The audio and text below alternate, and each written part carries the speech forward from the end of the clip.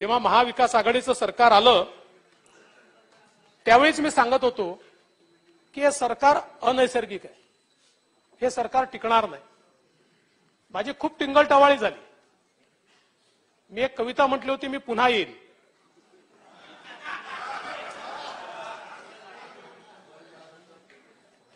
त्याच्यावर माझी खूप टिंगलटवाळी अनेकांनी केली. पण मी आलो. आणि यांनाही घेऊन आलो. एकटा नाही आलो. यांना सोबत घेऊन आलो. आणि अध्यक्ष महोदय ज्यांनी टिंगल टवाळी केली ज्यांनी अपमान केला त्यांचा मी बदला घेणार